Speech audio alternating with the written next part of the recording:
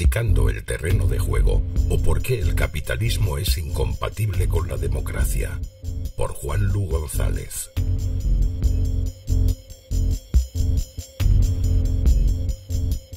A pesar de que siempre se nos repite machaconamente que la democracia burguesa es el mejor sistema de los posibles, en los tiempos que corren, esta frase se ha vuelto más una muestra de la autocomplacencia occidental que una realidad constatable. Es más, podría afirmarse que el término democracia burguesa encierra en su seno una contradicción insalvable. Es lo que llamamos un oxímoron de libro. Para entenderlo fácilmente, vamos a usar varios recursos gráficos basados en la teoría política de la ventana de Overton. Imaginemos una escala del 0 al 10, donde el 0 represente la extrema izquierda y el 10 la extrema derecha. Esta escala nos servirá para colocar las medidas políticas que son aceptables para la opinión pública y, por lo tanto, que tienen posibilidad real de ser aplicadas por medio del accionar de los partidos que se presentan a unas elecciones con ciertas garantías.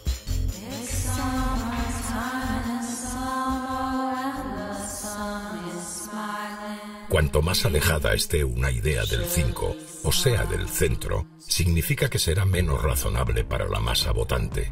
Por el contrario, las más periféricas, las más radicales serán las que conciten menos apoyo popular y nunca llegarán a ser implementadas, porque las formaciones que las defiendan jamás llegarán al poder.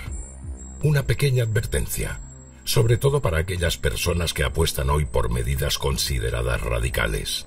Antes de continuar, no nos dejemos arrastrar por el presentismo. El concepto de centro político es susceptible de evolución y cambio permanente en distintas sociedades y en distintos momentos históricos. Lo que hoy es impensable, mañana podría ser lo políticamente correcto, o viceversa.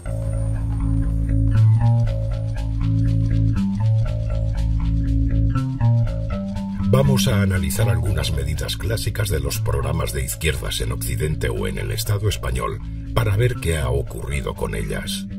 En primer lugar tenemos la nacionalización de la banca.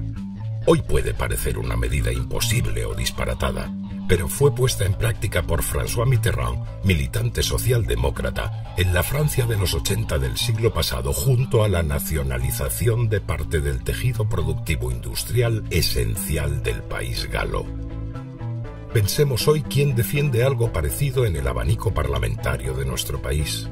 No necesitamos buscar mucho, ¿verdad? Y la reforma agraria. Era algo muy común en las reivindicaciones de izquierda, especialmente en comunidades autónomas donde por avatares históricos la tierra no pertenece a los trabajadores del campo, sino a oligarquías ajenas a estas sociedades ubicadas en los centros de poder. La idea era expropiar los latifundios y repartirlos entre la población jornalera. Este tema era parte esencial del programa socialista y comunista en los 70 y 80. ¿Dónde está hoy? Sigamos adelante. ¿Se habla acaso ahora de la conformación de un Estado federal o confederal? ¿Está sobre la mesa? ¿Lo oímos en las tertulias televisivas o en los editoriales de los medios de comunicación? ¿Y la salida de la OTAN? Hasta formaciones comunistas con representación parlamentaria de la actualidad no consideran a la Alianza Atlántica como un problema, porque no la consideran un tema prioritario. Incluso sus líderes toleran las bases militares norteamericanas ya que, supuestamente, crean puestos de trabajo. Da igual que asesinen a millones de personas en todo el mundo o se usen para robar los recursos naturales de medio planeta. Eso ya no les importa. Así podríamos seguir con la proclamación de la Tercera República, con el concordato con el Vaticano y con tantos otros asuntos, especialmente en materia económica y en relaciones internacionales, escenarios donde hemos perdido prácticamente la soberanía como país y consecuentemente las medidas políticas en este ámbito se mantienen fuera del escrutinio popular democrático.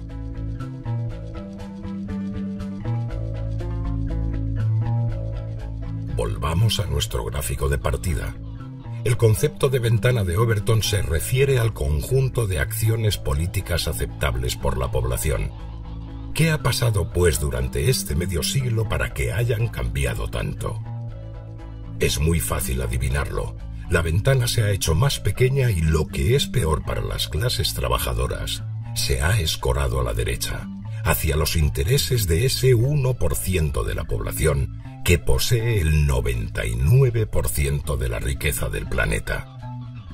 Lo realmente triste es que muchas de las medidas que antes eran susceptibles de defenderse dentro de la izquierda parlamentaria han quedado fuera del sistema. Si ahora quisiéramos continuar representando la acción política presente, deberíamos redibujar una nueva ventana dentro del exiguo espacio que los poderes nos han dejado para jugar a eso que llaman democracia.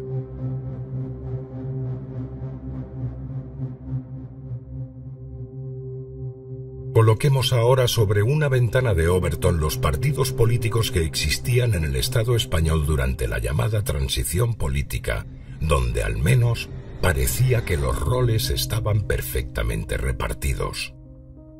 De izquierda a derecha, simplificando un poco y excluyendo formaciones nacionalistas periféricas, vemos al Partido Comunista de España, al Partido Socialista Obrero Español, a la Unión de Centro Democrático, a Alianza Popular y a Fuerza Nueva en la extrema derecha. Comparemos aquella situación con el panorama actual en el Estado español. Para ello utilizaremos los datos del Centro de Investigaciones Sociológicas, institución pública que realiza estudios demoscópicos periódicos sobre la percepción de los partidos y los líderes políticos nacionales en una escala similar a la de la ventana de Overton. ¿Cuáles son los resultados más recientes de este mismo año? Son realmente esclarecedores. Sumar y el Partido Socialista Obrero Español están muy cerca el uno del otro, situados ambos en la izquierda, aunque en el tramo más cerca del centro. El Partido Popular es nítidamente de derechas, mientras que Vox es la extrema derecha genuina. Hasta ahí todo claro. Pero si se aplica una perspectiva histórica, tendríamos que en los años 80 Sumar sería un partido de centro, como el PSOE sería de derechas y el PP y Vox de extrema derecha. Pensemos en un trabajador o una trabajadora militante de la izquierda en el último tercio del siglo pasado y que pudiese viajar al momento presente. ¿A quién votaría? Obviamente, lo más probable es que se encontrase sin ningún referente real, sin ningún partido al que apoyar. Sentiría que los partidos transformadores habían traicionado sus principios fundacionales y que habían virado todos a la derecha. Todo ello le provocaría una enorme desafección por la actual clase política. Ante ese panorama solo tendría dos opciones, la abstención activa y consciente o votar con la nariz tapada. Si analizásemos qué ha pasado, por ejemplo, durante las últimas elecciones de 2023, donde ganó claramente la abstención, podríamos comprobar cómo los mayores niveles de abstención se produjeron justamente en los barrios obreros de las grandes ciudades. ¿Casualidad? Evidentemente no.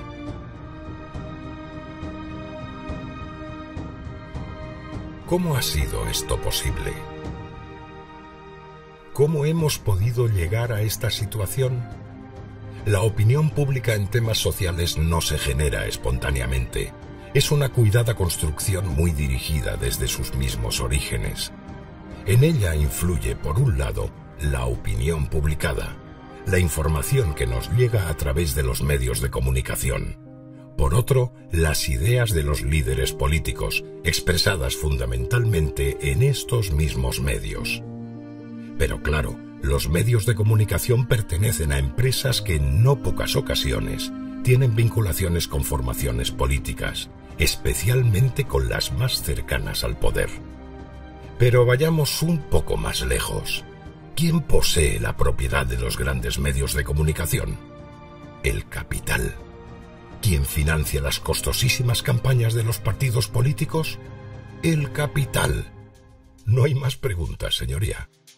¿Qué le pasaría a un partido político que se situase fuera de la ventana de Overton que con tanto empeño ha ido construyendo el poder económico?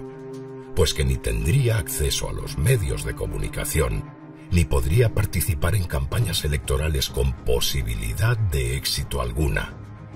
¿Es eso democracia?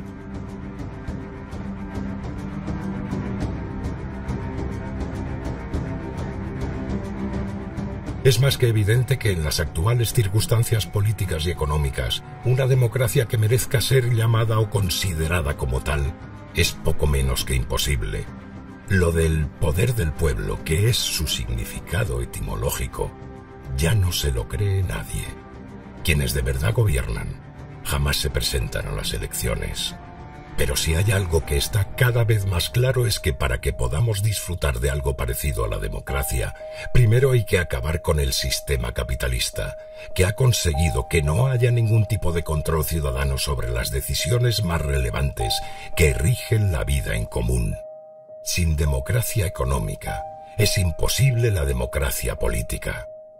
No puede haber ningún partido de izquierdas que no sea verdaderamente anticapitalista esa es la tarea que tenemos todas y todos por delante, derrotar al capitalismo para disfrutar de una verdadera democracia.